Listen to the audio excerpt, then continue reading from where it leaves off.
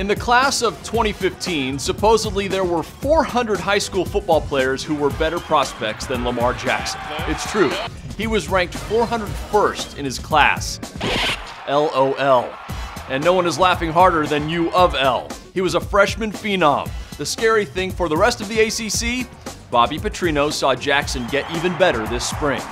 Just his ability to make decisions and understand that I get to look at the coverage and go through my progression and distribute the ball. He's got good players around him, so I think the biggest thing for a quarterback to do is use his weapons and get the ball to the good guys who can make plays for him.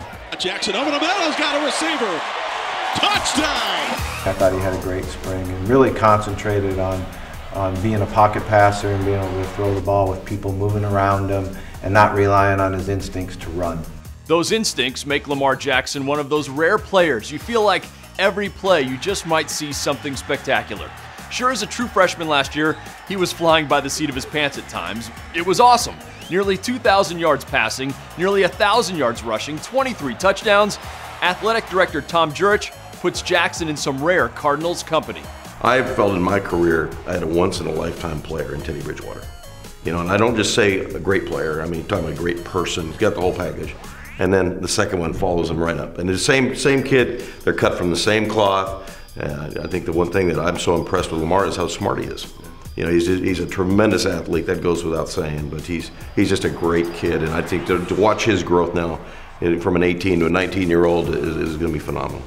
And Petrino knew it right away. During the first week of practice last summer, Petrino walked up to Jurich and said, "Watch this kid throw the ball. He throws the deep ball like Mark Brunell." Brunell was a Pro Bowl QB in the NFL and a Petrino protege. That is some comparison on the third day of practice.